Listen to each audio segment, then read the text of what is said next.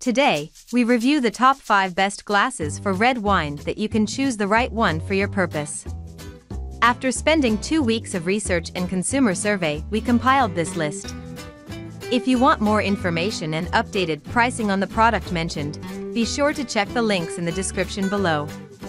Oh yes, since you're a new channel, don't forget to subscribe to us, and if you're on YouTube click the alert notification as it will help us grow.